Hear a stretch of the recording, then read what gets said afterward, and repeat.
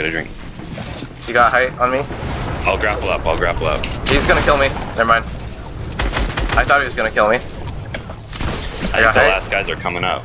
It's like this guy and then uh, two more. Oh! That's does!